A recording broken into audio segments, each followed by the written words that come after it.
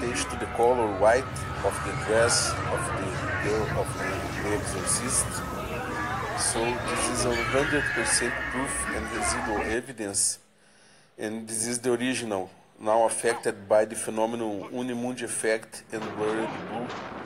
So this is 100% proof that it has changed by the unimundi effect and it's blurred blue because we have at the haunted house of the Universal Studios in Los Angeles a copy of the scene with the white dress.